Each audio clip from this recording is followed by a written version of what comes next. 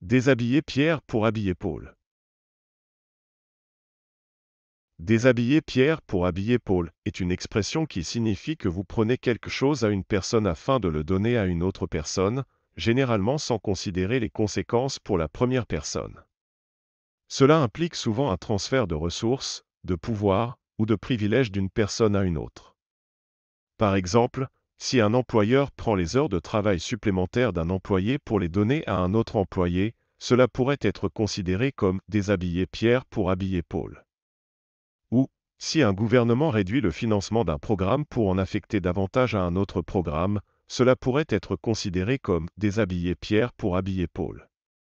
En résumé, cette expression exprime l'idée d'appauvrir ou de priver une personne pour en bénéficier une autre.